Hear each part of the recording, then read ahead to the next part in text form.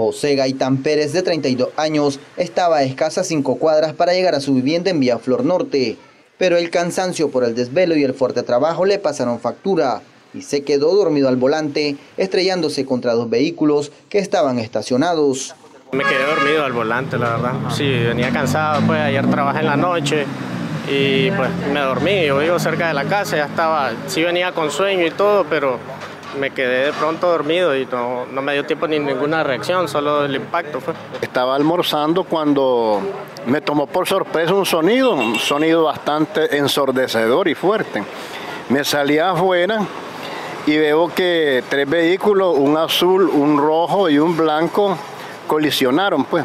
El uno le pegó al otro y el otro al otro, como el, le pegó al rojo. Al rojo y el, rojo le, y, le, pegaron al otro de, carambola o en el efecto dominó. Aunque afortunadamente no hubo personas lesionadas, la aparatosa colisión dejó cuantiosas pérdidas materiales en los tres vehículos involucrados.